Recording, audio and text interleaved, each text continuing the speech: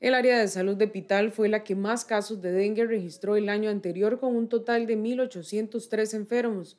Para el año anterior se contabilizaron un total de 2.132 casos en la región Huetar Norte, siendo Pital, La Fortuna, Santa Rosa y Aguasarcas los sectores más afectados por este mosquito. El año pasado eh, tuvimos pacientes graves en el Hospital San Carlos y no solo eso, eh, se cuantificó dos personas relativamente jóvenes que fallecieron por dengue y esto es difícil porque es una enfermedad prevenible. Yo creo que sí es importante eh, revisar este tema principalmente con las medidas preventivas. Contrario a lo que sucedió en años anteriores, el área de salud de los Chiles solo presentó 12 casos.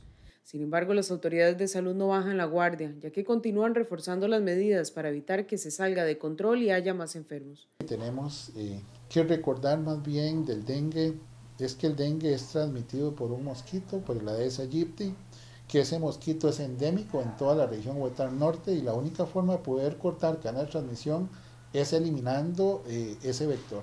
¿Qué significa esto? Que tenemos que eliminar todos los potenciales criaderos, ¿verdad? Estar revisando las canoas, todo recipiente que acumule agua. Y yo creo que esa es una medida que todos sí podemos colaborar en ese sentido. Para lo que llevamos de este año, se tiene un total de 384 casos entre confirmados y sospechosos. Piden a la población no bajar la guardia y limpiar cualquier criadero de mosquito.